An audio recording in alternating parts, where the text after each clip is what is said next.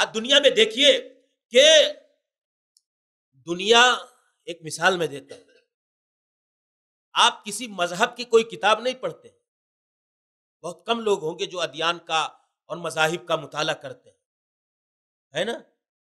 کسی کرسچن اور کسی غیر مسلم کو آپ اپنی بلڈنگ میں پڑوس میں رہتے ہوئے دیکھتے ہیں تو سمجھتے ہیں کہ اس کا مذہب یہی ہے جو وہ کر رہا۔ یہی ہے نا؟ کہ اس کی کتابیں جاتے ہیں آپ پڑھنے۔ نہیں، ایک کرسچن آپ کی بلڈنگ میں آپ کے چال میں رہتے ہوئے جو جو کرتا ہے، آپ سمجھتے ہیں یہ اس کا مذہب ہے، یہ اس کا دین ہے، یہ اس کا ریلیجن ہے، اس کے مطابق وہ کر رہا ہے۔ اور اسی پہ آپ اس کے مذہب کو تولتے ہیں، پرکھتے ہیں۔ ایسے دنیا اسلام نہیں پڑھ رہی مسلمانوں کو پڑھ۔ دنیا اسلام پڑھ رہی ہے۔ اسلام پڑھے تو یہ مسلمان رسوا ہو جائیں گے۔ اور جو اسلام پڑھ رہے ہیں وہ اسلام میں داخل ہو جا رہے ہیں۔ جو مسلمان پڑھ رہے ہیں مسلمانوں کو اسلام سے نفرت کر رہے ہیں۔ جو مسلمانوں کو پڑھ رہے ہیں آج کے چودہویں صدی کے، پندرہویں صدی کے مسلمانوں کو اسلام کے دشمن مسلمان ہیں۔ اپنی شبی خراب کر کے سماج میں، معاشرے میں، سوسائٹی میں پیش کرتے ہیں۔ لیکن جو اسلام پڑھتا ہے، وہ اسلام کا خوگر اور عادی ہو جاتا ہے۔ اسلام کے دامنے امن میں آ کر کے اسلام کی پناہ میں داخل ہو جاتا ہے نا؟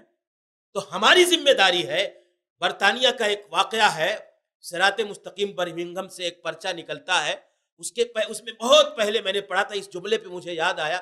کہا کہ وہ ایک آدمی بس کا کنڈکٹر بس میں جاتا تھا تو روزانہ ایک مولی صاحب کہیں کام کرنے جاتے جاتے نا آفس لوگ۔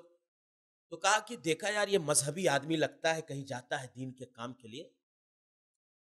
تو اس نے کہا، آج میں دیکھوں گا مسلمان ہوتے کیسے؟ کتنے ایماندار۔ بہت سنتا ہوں اسلام کے بارے میں۔ اسلام ہے کیا چیز؟ ہے تو کرایہ جب انہوں نے دیا تو پیسہ جو واپس کرنا تھا اس سے جان بوجھ کر کے زیادہ دے دیا۔ اب ملی صاحب نے رکھا۔ وہ رکھ لیا، انہوں نے گنا یا نہیں گنا، کہا۔ اس کے بعد اترنے سے پہلے انہوں نے دیکھا۔ یہ پیسہ زیادہ ہے، اس نے واپس کیا۔ تھوڑی دیر سوچتے رہے، دوں یا نہ دوں، کیا کروں؟ یا ہو سکتا؟ ہے ٹائم پہ دیکھا۔ کہا اترنے سے تھوڑی دیر پہلے لے جا کر کے وہ پیسہ اس کو واپس کر جب اترنے لگے گیٹ کے دروازے پر کنڈکٹر کے پاس پہنچے تو اس نے کہا، سنیے ملی سے کہا، میں نے جان بوجھ کر کے یہ زیادہ پیسہ آپ کو دیا۔ میں دیکھنا چاہتا تھا کہ مسلمان ہوتے کیسے